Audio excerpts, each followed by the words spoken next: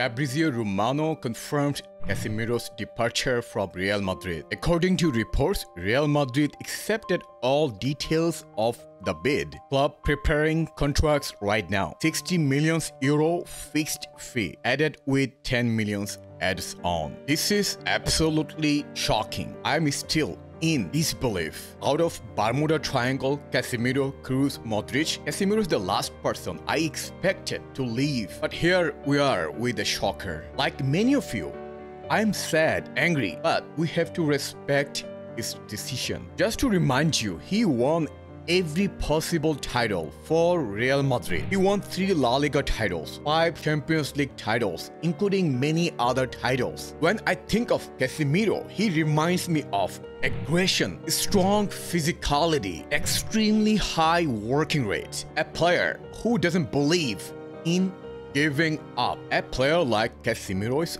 almost irreplaceable. What could be the reasons of Casemiro's departure? I have two reasonings, but both are hypothetical, so take it with a grain of salt. First of all, it's too obvious to me is about money. Yes, money talks. This is the truth. The second reason is a rumor. I don't totally buy it, but I can see the possibility of it. It's about Real Madrid's decision to buy Tchouameni. In fact, there were lots of reports suggested that Casemiro wasn't happy about Real Madrid buying Tchouameni. Additionally, he had a meeting with Carlo Ancelotti. Now, all we are hearing is that he wants to have a new challenge. To me, that idea of new challenge is just bullshit. But I respect his decision. It's his life. He has the right to do whatever he wants to do. And I wish him the best as a Real Madrid fan. Even Casemiro left Real Madrid. What's next? For Real Madrid. Carlo Ancelotti had a recent interview where he had a lot of revealing information.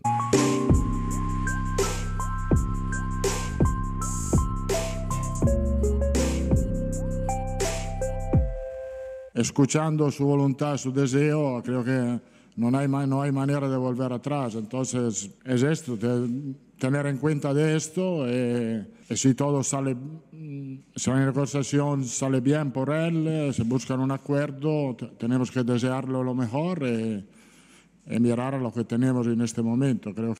Carlo said that he respects Casemiro's decisions and there is no way to go back. So Carlo just confirmed that Casemiro has already made his mind. He wants to leave Real Madrid for Manchester United for a new challenge, and we have to respect. And Real Madrid is a club who rarely forces players to stay against their will, and this is no exception. Yes, we had some exceptions like Bale or James, but those are just exceptions. Cuando él pide, tiene la voluntad de probar un nuevo desafío, tenemos que entenderlo y tenemos que aceptarlo con el máximo respeto y con el máximo cariño. Entonces no somos enfadados, no somos tristes.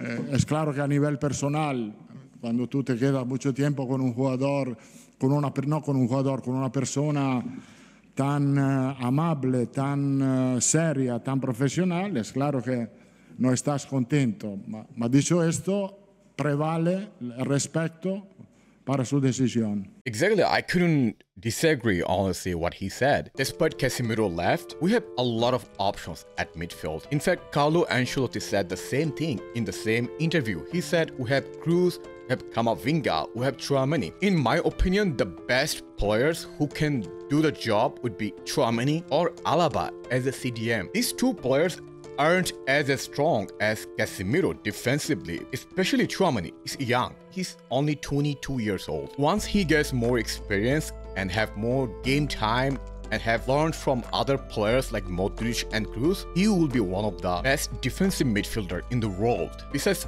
Tchouameni and Alaba, there is another player that can do the job. His name is Camavinga. If you go back and see the past of last Champions League campaign, we had three insane comeback against PSG, Chelsea and Man City. And Camavinga is one of the reason of those comebacks. In fact, when we needed to score goals, Casemiro was not on the field, suggesting that Camavinga may be not the perfect replacement or defensive midfielder as of Casemiro, but he can do the job. Another scenario could be Camavinga and Tchouameni double pivot and Modric in front of them. Another scenario could be Modric, Tchouameni and Valverde at midfield. This would be my preferred midfield trio. Given we have so many midfielders, so many depth, we can do shuffling and try multiple combinations and see what combinations work the best. So this is how Real Madrid fans reacted in social media. First comment, I am gonna miss you permit a horrendous tackle on the opponent but still get away with no card. Smile. Uh, this is true. Like Casemiro, the way he gets used to getting away with the card is astonishing. The reply to that comment was Camavinga just needs a little more. He's just starting to adopt that tradition, hopefully. Another comment, I am heartbroken right now. Casemiro living hurts. I hope Tchouameni can even be half the player Casemiro was. Ah, this is as expected. We are all sad and we just have to accept the reality. Also, I didn't like the way he compared Tchouameni, and Casemiro. Another comments, best wishes, goodbye to a true Madridista and living legend. Man, I'm gonna miss you. Casemiro, that tank, 72 million euro is a fucking sick. Perez is absolutely insane. Again, this comment suggests some fans are okay with the money we're getting. At the same time, I have seen a lot of fans are against this. The thing we should never sell Casemiro, no matter what. And many of them are bashing Florentino Perez for this. Didn't think Casemiro would retire from football before Kroos and Modric. I said the same thing. Today is a sad day because Casemiro won our hearts, but we cannot forget this. Players come and go forward. I am 100% confident with Tchouameni and the actual squad. A la Madrid. This is my favorite comment so far.